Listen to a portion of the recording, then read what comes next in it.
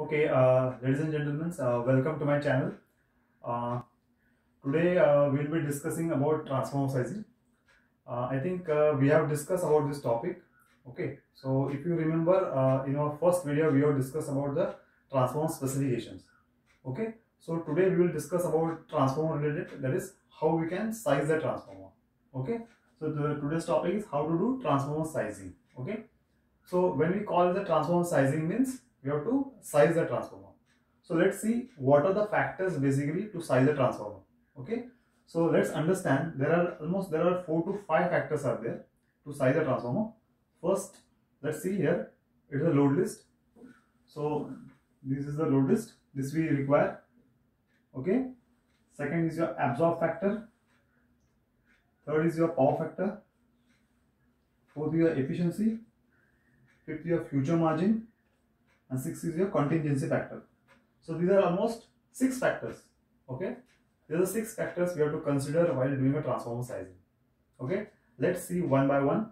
Now, what is the load list? Okay, load list is nothing but the list of all the loads, list of all the loads that is motor loads and the non-motor loads.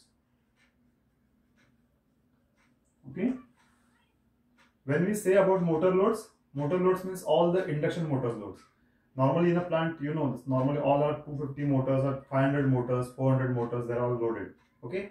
So whatever motors have been connected on the system all that motors will be coming under motor load list okay? And normally in a plant they're all induction motors. Hardly there may be a synchronous motor but normally synchronous motor is connected on the hv side. So we are talking about the loads which are connected on the lv side okay? So this comes under the motor load details Second types of loads are your non-motor loads. So non-motor loads means which loads? Like lighting loads, any kind of critical lighting or any emergency lighting load or any exit light loads or we can say any welding socket. So any kind of loads where motor is not involved. So that loads come under non-motor loads. And remember in a plant the major loads 80 to 90% of the loads constitutes your motor load list. Okay. So we'll focus on the motor loads in this load list. Okay. So now what is the load list? Load list consists of your motor loads and non-motor loads. Now let's see how we are going to segregate the load list. The load list is segregated into parts like continuous loads. Okay. Then there are second types of loads like intermittent loads.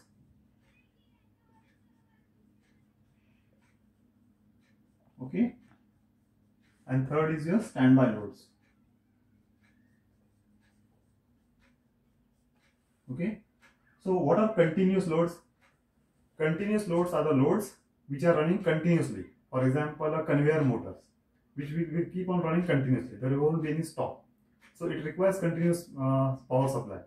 You can say continuous power supply means the motor will keep on running continuous as per the process requirement. Second load is the intermittent loads. So what are the intermittent loads? Loads which will run for some specific period of time. It won't run continuous. For example, you can say some intermittent pumps are there or there are crane motors are there. Okay. In a workshop, we will not run the crane for a continuous time. Whenever we require that, only the crane motor will run. Then there are something, any critical kind of pumps uh, or walls are there which will run on a specific period of time. Even you can take an example of a welding socket welding socket is connected to your socket loads okay on a socket power socket. So we can't connect the power socket every time 24 by 7 so only specific period of time only the power socket will be loaded.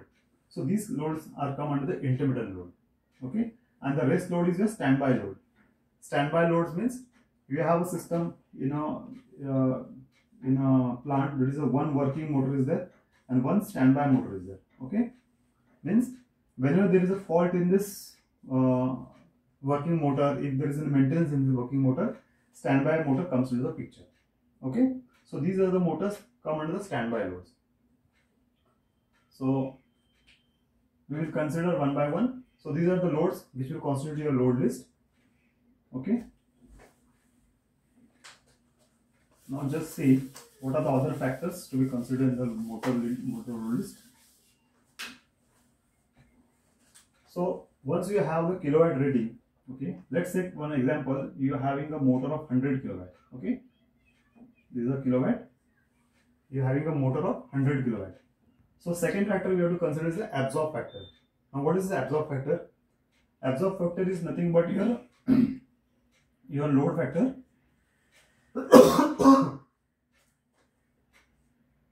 Which comes around 0.7 to 0.8 okay so second factor is your load factor or we can call it as an absorb factor. Okay? So the normal value of the absorb factor is 0.7 or 0.8 or 0.65 or 0.7 also. So what is this? Basically when your motor is connected okay? See this is your motor. So this if it is in 100 kilowatt of motor this is called as the connected load okay? This is your connected load. The motor, the transformer won't going to feed this 100 kilowatt. Okay, the actual load is the absorb absorb load. So what is the absorb load? When we consider this 100 kilowatt and you multiply by 0.7, this 0.7 is the absorb factor, or we can say as a load factor also, which could be 0.7 or it could be 0.75 also. You will get 70 kilowatt. This 70 kilowatt is your absorb load. Okay, so this absorb factor, when you multiply with 100 kilowatt, you will get this absorb load.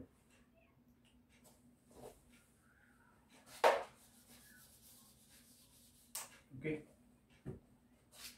so the moment you get the absorb load this is the absorb load.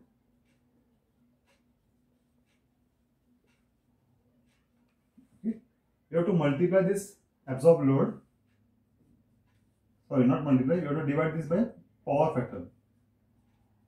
Okay what is power factor? This power factor you are going to get it from the motor catalog.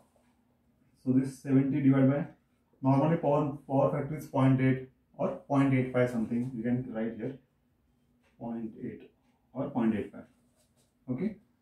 So this value you may get around 85 kilowatt okay? So once you get the uh, after dividing by power factor you get some value and this value again we have to divide by efficiency. Again efficiency you will make it about 0.9 or you can get or 0.95 okay so even these values you are going to get it from the motor catalog. Like if you divide by efficiency you will get some value like something 95 kilowatt. Okay? So once you divide by power factor normally you will get this value by in terms of kva. Sorry not in kilowatt you will get value in terms of kva. So once we got this kva we divide this kva by your efficiency you are going to get once you divide by 0.95 sorry point this 85 when you divide by 0.95 you will get something 95 kVA. This is your input kVA. Okay? Once we divide this 85 kVA by 0.95 that is the efficiency you will get the input kVA. For every motors loads this input kVA we have to calculate it. Okay? And we have to consider all this input kVA into your load list okay. So let's see and just how to prepare a load list once again.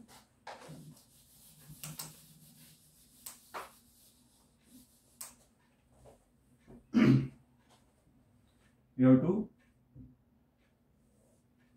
segregate all the loads. That is continuous load intermittent load and the standby load. Okay. So once you calculate that is 95 kVA for every motors you will get these loads.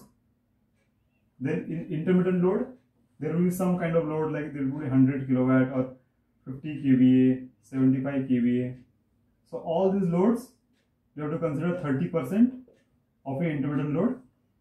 And here you will going, going to get something like again 150 any value 25 so you have to consider 10 percent of this standby loads.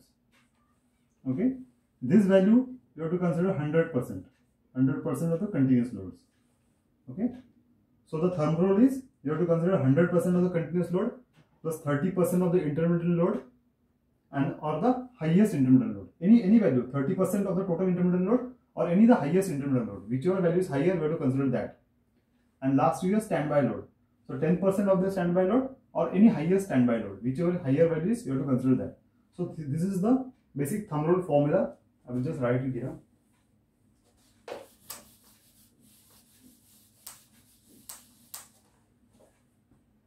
see basic thumb rule formula for transformer sizing is 100% continuous plus 30% intermittent plus 10% standby okay so this is a formula for a transformer sizing so let's say you have got a value of let's say 800 kVA okay you have got value is 800 kVA once you receive this value you have to consider some future margin. Okay?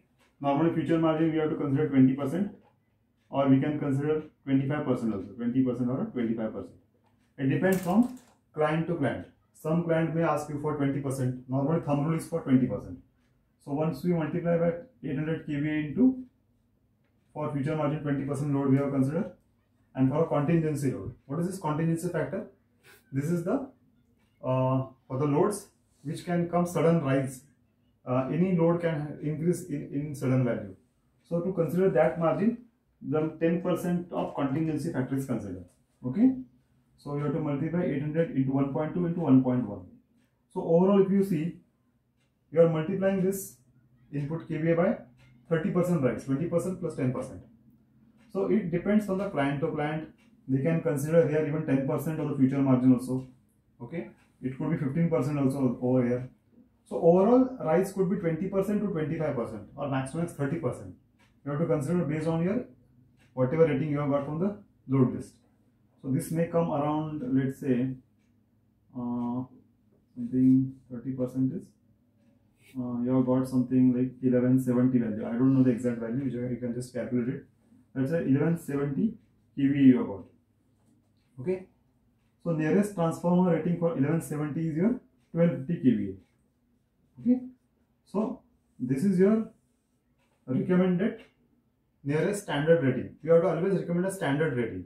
So whatever standard rating you are available near to this value okay we have we have to recommend it.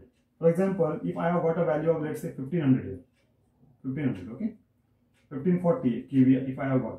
So what is the standard formula uh, rating i would have recommended it is 1600 kVA because these are the standard values 1250 kVA, 600 kVA, 1600 or we can say 2000 kVA, 2500 kVA. So these are the values we normally recommend it. Okay. So this is how you have to recommend to the uh, client that this is your standard value which you can consider for the transformer sizing. Okay. And now there is one more factor, last factor you have to consider. That is your what is the highest rated motor? Let's understand. This is your transformer. Okay. You're feeding and there are a lot of motors are there here. Okay. We have almost let's say we have 400 to 500 motors are there. Okay. So we have to calculate understand which is the highest rated motor. Let's say 132 kilowatt